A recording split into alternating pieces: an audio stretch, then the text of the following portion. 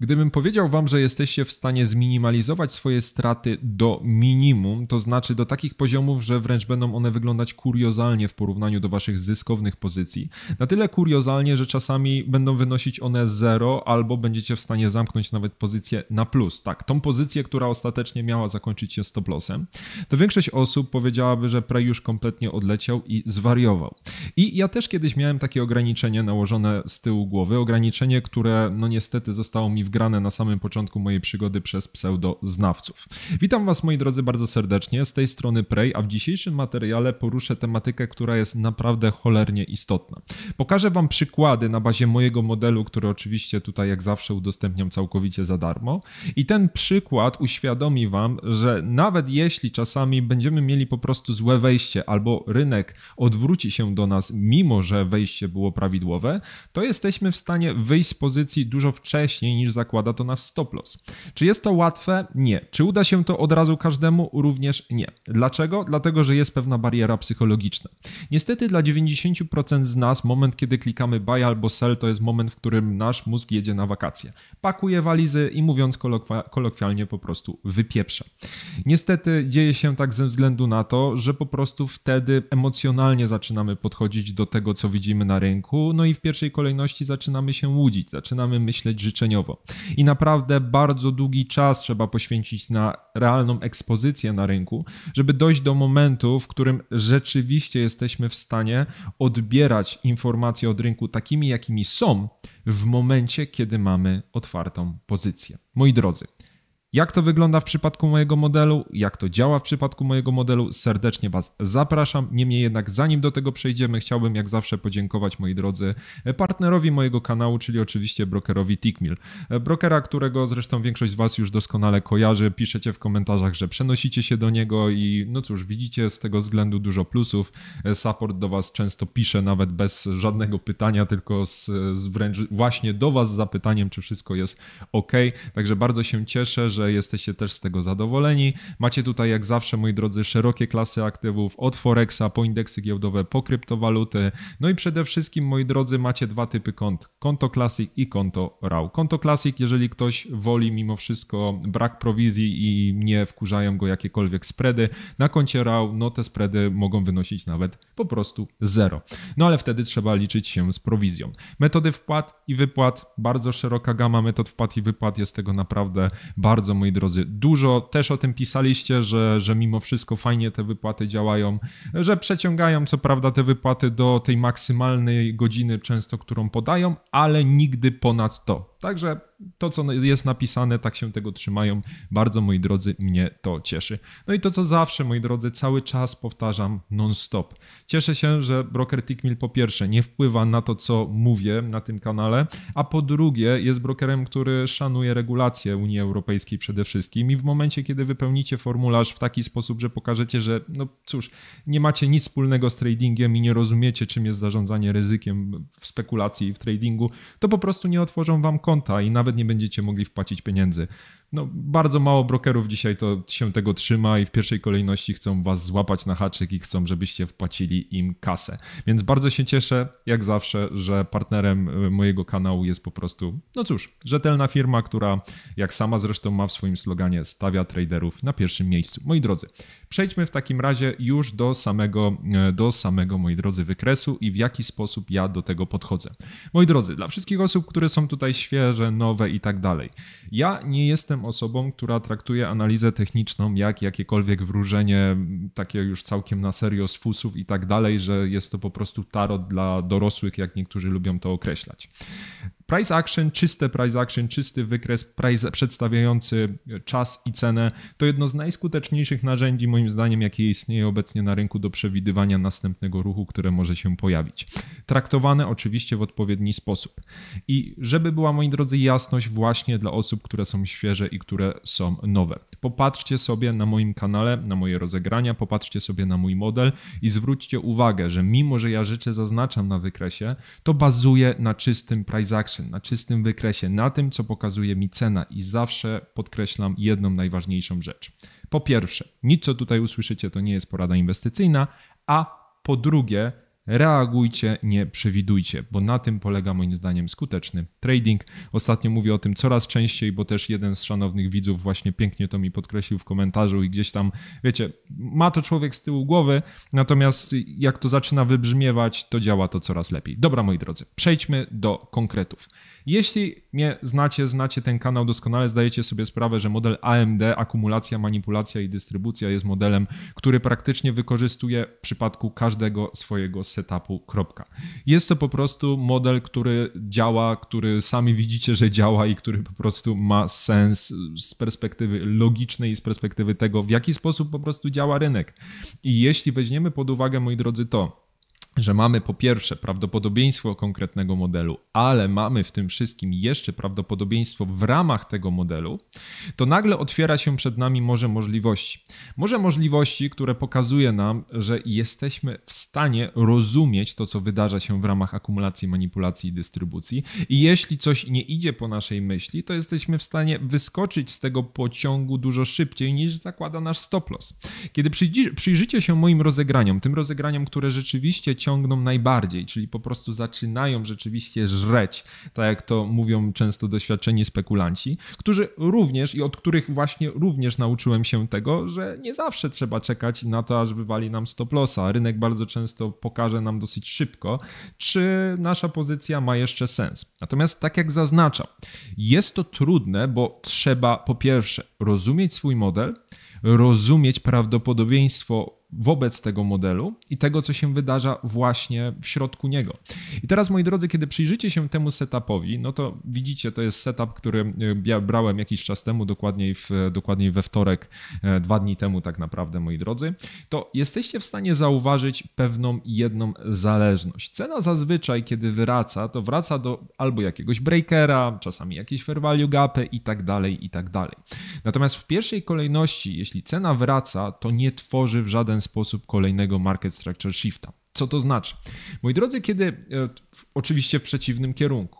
Zawsze triggerem, o którym mówię i na który czekamy w, w, przypadku tego modelu, to jest to zawsze jakiś market structure shift. No i oczywiście pierwszy market structure shift, którego jesteśmy w stanie zauważyć, wydarzył się, moi drodzy, tutaj zamknęliśmy się poniżej tego low. I tak jak widzicie, kiedy cena utworzy tutaj konkretne, konkretnego market structure shifta, który pociągnie później nawet na 15, to jednocześnie tworzy tutaj pewnego breakera. Breakera, przez którego się przebiliśmy, to znaczy to był kiedyś bullish order block, przez którego od razu się po prostu przebiliśmy, więc zamienił się w tym momencie w breakera. I tak jak widzicie, moi drodzy, cena odnosi się do niego i ucieka w drugą stronę. Nie ma mowy tutaj o tym, że ta cena mocno zawraca, a przede wszystkim nie ma mowy tutaj o tym, że cena zamyka się gdzieś ponad tymi szczytami. Więc widzicie, że każde rozegranie, przejdźmy sobie do następnego, które rzeczywiście ma sens, i na przykład to jest rozegranie, które mogliście widzieć w całości u mnie na kanale. O, uciekło nam, uciekł nam pełen ekran, a raczej zrobił nam się jeszcze bardziej pełny ekran. Przejdźmy sobie, moi drodzy, do tego rozegrania gdzie tu mieliśmy podobną sytuację bardzo. Znowu mieliśmy akumulację widoczną w tym wypadku na 5-minutówce. Tak jak Wam zresztą mówiłem w mentorshipie, mamy 5-minutówkę albo 15-minutówkę, jeśli chodzi o akumulację. No i tutaj mamy manipulację. Manipulację, która zamknęła nam pięknie tą drugą świecę, właśnie tworząc market structure shifta. I zwróćcie, moi drodzy, uwagę na kolejną rzecz. Znowu tutaj mamy order bloka. Znowu mamy przygotowanego order bloka. Zwróćcie uwagę, że dopiero tak naprawdę naprawdę późniejszy, późniejszy ruch, który poszedł, w tym momencie zwróćcie uwagę, moi drodzy, na jedną rzecz. Mamy odbicie od tego order bloka, mamy pierwszego market structure shifta, który nas wywalił z pozycji, jeśli byśmy brali pod uwagę tego, ale nie bierzemy. Dlaczego, moi drodzy? Bo drugi, druga 00 kill zone żeby była jasność. Więc tu widzicie, jeśli ktoś zadaje pytanie, dlaczego czas i cena i czas na pierwszym miejscu, no to właśnie, moi drodzy, przede wszystkim dlatego. I tak jak widzicie, Market Structure Shift, który by Was, mówiąc kolokwialnie, wydymał, wydarzył się o godzinie 1.15, więc tu trzeba, trzeba, moi drodzy, o tym po prostu pamiętać. No i zwróćcie uwagę, moi drodzy, ponownie na jedną rzecz. Mamy naszego killzone'a, mamy naszą drugą 00, która odpala się tutaj. Rynek ponownie tworzy Market Structure Shifta na 5 minutówce w tym momencie momencie, zamykając się poniżej tego low i kiedy zwrócicie uwagę na to, co się wydarza właśnie później w okolicach 2.30, to cena znowu odnosi się do tego breakera, do którego odnosiliśmy się wcześniej. I teraz możecie zobaczyć, że ona tutaj nawet nie powróciła do połówki. Wpadła do niego i uciekła. Dokładniej mówiąc, wpadła na tej świeczce. Kiedy zobaczycie jej budowę, no to zobaczycie, że ona najpierw wpadła, a później uciekła niżej. No oczywiście TradingView to pokazuje tak, jak pokazuje, no ale jak przejdziecie sobie na niższy interwał, no to wtedy bez problemu zobaczycie, że ta cena odniosła się do tego breakera. Czy zobaczyliśmy później market structure shifta, który zamknąłby się poniżej tego low? No moi drodzy, nie. Więc rozumiejąc, że po pierwsze czas plus cena, czyli londyński killzone, druga do piątej, do tego rozumiemy, że jeśli jest nasz model wejścia, jeśli mamy nasze entry, to w takim razie muszą wydarzyć się konkretne rzeczy. To znaczy, jeśli mamy już rzeczywiście e, trigger do tego, żeby się wpakować, bo mamy rzeczywiście market structure shifta, cena odnosi się do breakera i wchodzimy na przykład na breakerze, to w tym momencie ten stop loss jest tutaj. Natomiast jeśli cena zareagowałaby w taki sposób, że tak jak widzicie, mamy tutaj utworzonego haja i powrócilibyśmy do niego, tworząc jednocześnie, nieważne, że odnosimy się wtedy do tego fair value gapa, tworząc nowe body, które zamyka się poniżej jakiegoś high, które utworzyliśmy, to nie jest przesłanka, którą ja chcę widzieć. I zaraz wam pokażę, o co mi dokładnie chodzi, bo wczoraj był perfekcyjny przykład, perfekcyjny przykład trade'a, z którego udało mi się wykaraskać właśnie wcześniej, niżeli to zakładałem. Niżeli zakładałem tak naprawdę całe swoje, całe swoje, e, moi drodzy, całego swojego stop lossa. Miało to miejsce tutaj w okolicy, właśnie, miało to miejsce, moi drodzy, przejdźmy tylko szybciutko, gdzie jest e, wczorajszy, wczorajsza północ. Tak, teraz tu mamy Wednesday, Thursday, no to idziemy do wczorajszej północy New York Time oczywiście i moi drodzy, już Wam wszystko tłumaczy. Tak jest, już widzę. Jesteśmy w tym rozegraniu i tutaj mieliśmy sweepa previous daily lowa. Generalnie jak zobaczycie, no to sweepnęliśmy tutaj previous daily lowa, więc było to gdzieś dla mnie jakaś tam sygnatura, że e, oczywiście tu już widać całą świecę daily zbudowaną, natomiast sweepnęliśmy previous daily lowa.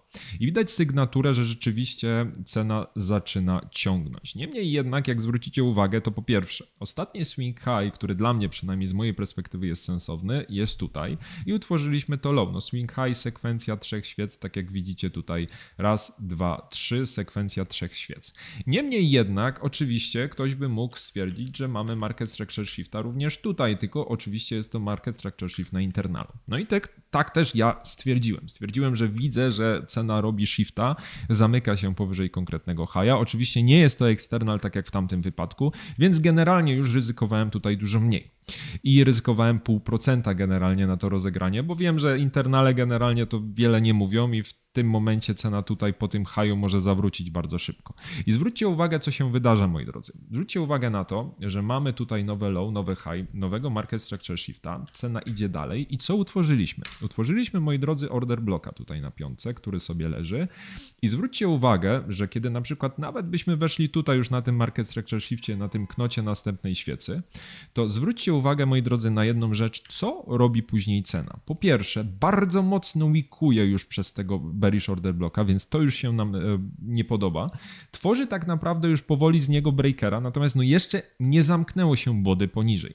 Więc w teorii jeszcze możemy oczekiwać czegoś konkretnego. Natomiast kiedy zobaczycie, jak wygląda następna świeca, to już ta następna świeca insynuuje nam to, że niestety, ale raczej nasz plan nie wypali.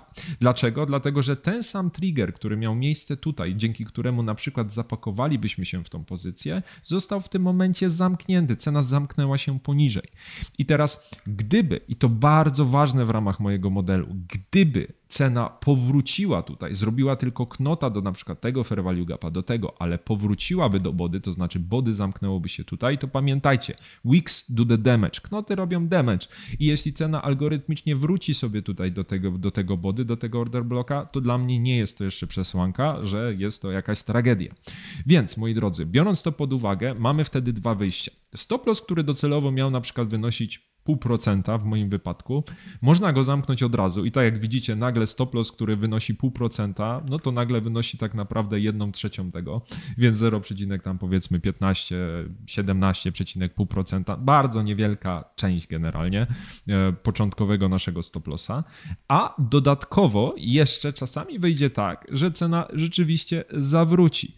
No i Teraz tylko pytanie zależy już do Was, jak bardzo chcecie uzyskać lepsze wyjście w momencie, kiedy coś nie idzie po Waszej myśli. I zwróćcie uwagę, jak bardzo tutaj cena wyszła wyżej, jak bardzo jeszcze złapała wszystkich na tym, że lecimy w drugą stronę, zinwertowała nawet tego fair value gapa, ale no niestety, moi drodzy, trzeba patrzeć na ostatniego swing high'a. I co tu mamy? Nie mamy tu nic innego, moi drodzy, jak sweepa i market structure shifta, czyli cena powróciła do eksternala i, moi drodzy, zebrała, zrobiła liquidity i zrobiła market structure shifta w przeciwnym kierunku.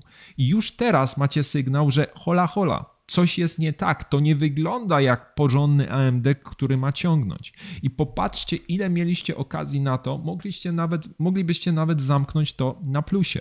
I to jest najzabawniejsze w tym wszystkim, że nagle pozycja, która docelowo na przykład, bo ja chciałem targetować te equal highsy tutaj, docelowo pozycja, która miała mieć 1 do 2 i gdzie ryzykowałbym na nią te pół procenta została zamknięta z bardzo, ale to bardzo niewielką i nieznaczącą stratą dla mojego konta.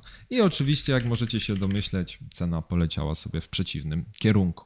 I tak oto, moi drodzy, znając swój model od podszewki, znając swój model bardzo dokładnie, trzymając się jednego modelu, jesteśmy w stanie zamknąć coś, zanim rzeczywiście poleci do całego naszego stop lossa. Tak jak powtarzam, nie jest to rzecz łatwa. Bardzo często ktoś powie, że wpływa to na nasze prawdopodobieństwo, no bo przecież cena może rzeczywiście zawrócić i może e, zawrócić gdzieś głębiej i na przykład jednak pójdzie w konkretnym kierunku. Natomiast jeśli śledzimy swój model, tak jak ja śledzę swój model AMD, to przez ostatnie dwa lata, kiedy dosyć skrupulatnie go śledzę, bardzo rzadko widziałem sytuację, w której cena rzeczywiście zrobiłaby zaraz odwrotnego market structure shifta, które, tak jak podkreślam, zamyka się, moi drodzy, poniżej tego low. To nie jest sweep, to jest rzeczywiście przesunięcie tutaj rynku. I dla mnie w tym momencie tego typu wydarzenie właśnie automatycznie wręcz kanceluje już w ogóle mój pomysł, bo AMD Mój model, jeśli ma ciągnąć, to on po prostu ciągnie. I to jest dla mnie najważniejsze. Oczywiście, tak jak mówię, to już wymaga od Was większego przygotowania, przede wszystkim psychologicznego, bo to się wydaje proste, jak się o tym mówi. Natomiast moment, w którym rzeczywiście jesteśmy w pozycji, to moment, w którym bardzo ciężko jest czytać cenę taką, jaka jest. A skoro bazujemy na czystym price action, które pokazuje nam model wejścia na bazie czystego price action, to również czyste price action może go bardzo szybko zanegować. Trzymajcie się, moi drodzy bądźcie bezpieczni, cześć.